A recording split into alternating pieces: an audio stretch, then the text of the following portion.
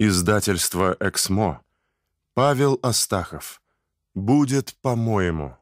Убеждай и побеждай. Предисловие от автора. Дорогой слушатель, в этой книге освещаются как теоретические, так и практические аспекты, нюансы того, как эффективно вести переговоры, извлекать из них максимальную для себя пользу, убеждать своего собеседника послушать вас, принять то или иное нужное вам решение. Неоспорим тот факт, что в современном мире эти навыки необходимы, если вы хотите быть успешным человеком – добиваться своих целей и эффективно взаимодействовать с людьми. Базовые навыки ведения переговоров нужны каждому, потому что переговоры могут вестись не только в высоких кабинетах, но и в повседневной жизни, на улице, в магазине, общественном транспорте, в быту. Время от времени каждому из нас приходится отстаивать свою позицию и мнение в конфликтах, спорах, дружеских беседах, в общении с чиновниками, сотрудниками правоохранительных органов, бизнес-партнерами и конкурентами. С этой точки зрения, учитывая многолетний опыт адвокатской практики и работу на государственной службе, опыт сотен судебных тяжб и переговоров различного уровня, у меня есть возможность поделиться эксклюзивной информацией об искусстве ведения переговоров, искусстве убеждения и о применении различных психологических, словесных и иных приемов для достижения необходимого результата.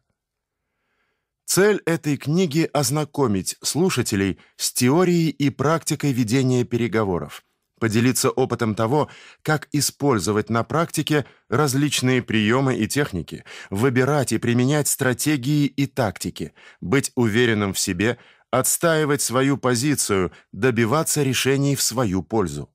Вся имеющаяся теория была пропущена мной через призму многолетней адвокатской практики и деятельности на посту уполномоченного при президенте Российской Федерации по правам ребенка. Но это не значит, что эта книга будет полезна только адвокатам и государственным служащим. Это далеко не так.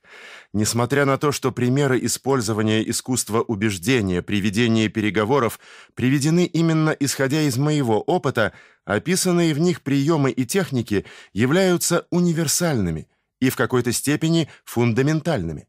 Многие из них при всей их простоте являются уникальными. Эти приемы можно проанализировать и адаптировать к любым обстоятельствам, применять в любой деятельности.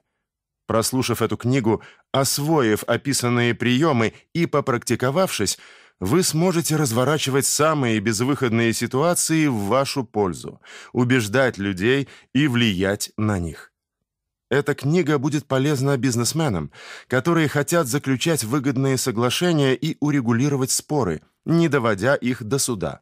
Адвокатам, которые хотят профессионально расти, развиваться и более подробно ознакомиться с тонкими психологическими аспектами судебных процессов людям, которые занимают серьезные должности и регулярно участвуют в обсуждении множества сложных вопросов, взаимодействуют с разными по характеру и настроению личностями.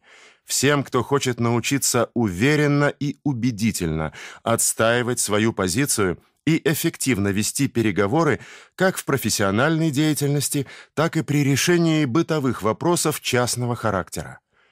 Слушателям предлагается перенять многолетний успешный опыт урегулирования споров и ведения переговоров, полученный в ходе сложнейших судебных заседаний, общения с разными людьми, разрешения международных конфликтов.